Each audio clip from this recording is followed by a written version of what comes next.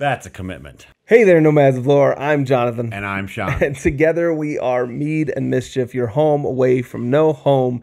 And today we're going to talk about how to properly start a fantasy series.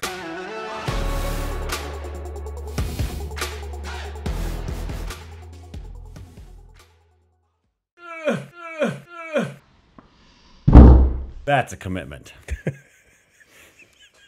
How does a writer get a reader to read and commit to a full on fantasy book series at this point? That is the question that we're going to be talking about today, uh, using our beautiful example of the Way of Kings and kind of going through some of it and, and discussing points. So, Speaking of beautiful, uh, I know that we're talking to a bunch of old people or people that are too old and aren't even around anymore, but people don't like to be called ex- old. example of high quality cover art as compared to the Robert Jordan's cover art of the Wheel of Time, at least the OG. Not that that's a hot take. I, I know. I know. you know, there it Yeah. is. Well, anyway, so this this this book not only has a prologue that's not 17 hours long like other books that I just got finished reading, but it also has a prelude. That prelude is only three and a half pages long, and I would be surprised. Well, this we'll, we'll just say this: this book series would not be for you if you had not fallen in love with it. Definitely by the end of the prologue, if not by the end of the prelude, which is only three and a half pages.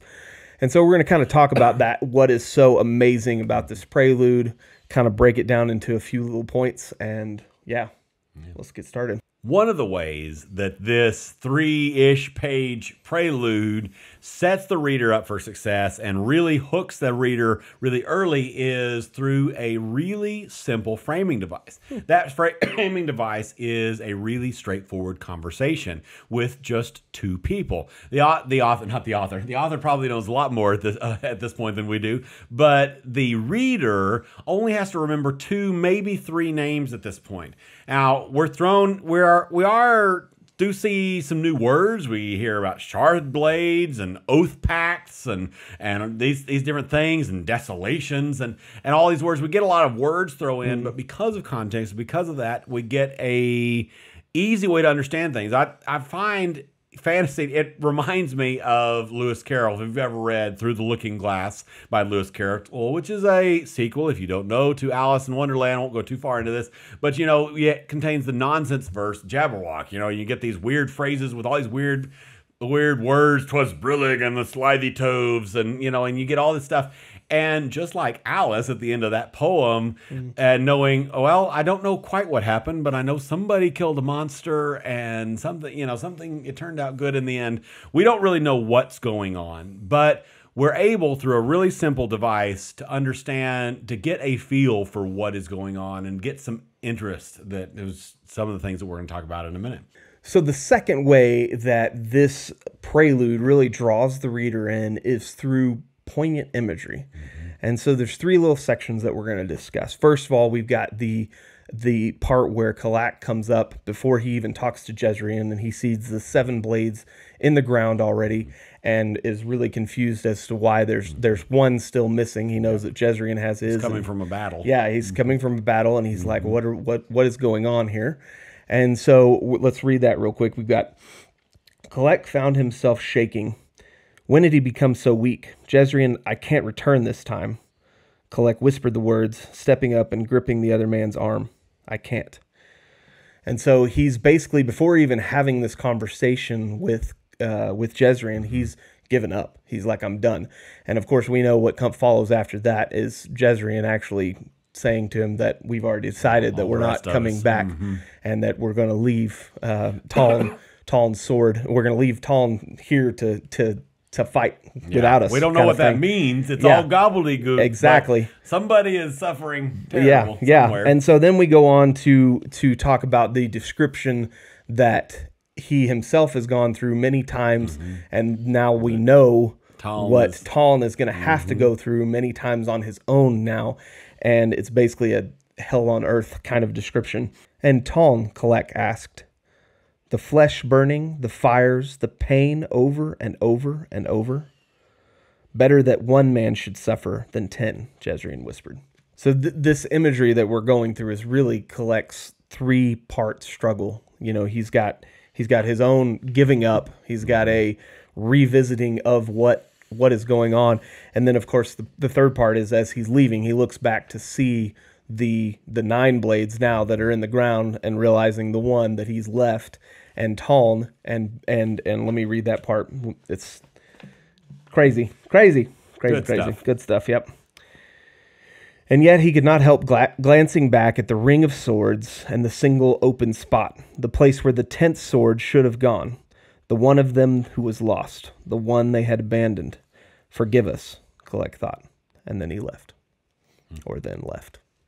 Don't want to miss. Don't want to miss. Uh, represent anyway but uh that that ending is just so i guess you want to see the front sorry that ending is just it it leaves you with such intrigue and such mystery and there's there's so many points of of tone and and things that are going on that you don't really understand like like Sean said there's so much going on because of these different words you don't really know what shard blades are you don't know what the oath pact is we don't know who these heralds are or what they're doing or what their cause is or what they're leaving behind and who's going to what terribleness is coming for the world mm-hmm. but we know that we're we're intrigued Something is terrible. Yeah. Yeah. So this so those two things in that they set up several things very succinctly, quickly. They set up the tone that is this this bleak world hmm. of hopeless hopefulness.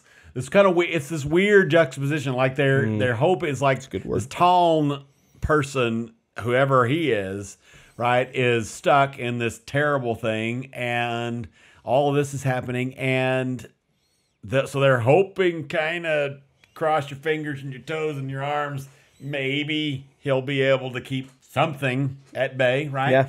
And Yeah. so we've got this we which also creates mystery and it creates we we get you know that that end the the I I'm sorry you you feel in that with this with this tiny little bit that he's saying I'm sorry to Tong but you feel in in our opinion that it's not just I'm sorry to him, but I'm sorry to all of Roshar and this, mm. you know, we're mm. we're walking away from some duty, mm-hmm. keeping something terrible from happening. So you get mm-hmm. it stakes and mystery. You also get a little you get this backstory that rides in the back of your mind as you as you see all this more modern time stuff in the rest of the book. And it does all of this with so little and it's really, really, really good. As we've seen through views and through you guys and the comments and everything traditional book reviews on our channel are not you know something that you guys are super interested in and that may change over time. But for now we're going to just do a very short book review right here in this in this very video.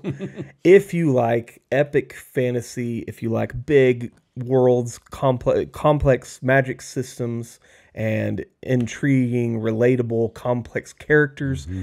and characters who are intriguing not just not just protagonists that are intriguing but antagonists and side characters mm-hmm. who are very very cool and and interesting. Mm-hmm. Um, and so if you like those things we really really recommend this book sean of course is a lot further in this in all of this cosmere stuff than i am and he doesn't necessarily think that this is the first book you should start with. I don't know it yet could be. but it could be. Hmm. And um, anyway so we are going to do or sean is going to do a reading list cosmere what how you should read it and how you should go through it. Mm-hmm. So what do you guys think? If you if you have read in the cosmere what's the first book you should start with? That's that's our question to you. Mm-hmm. So i hope you guys enjoyed this Yep. we uh, we very much appreciate your support and all the awesome comments you guys have a wonderful afternoon evening whatever time of day it is wherever you're at peace out Bye bye.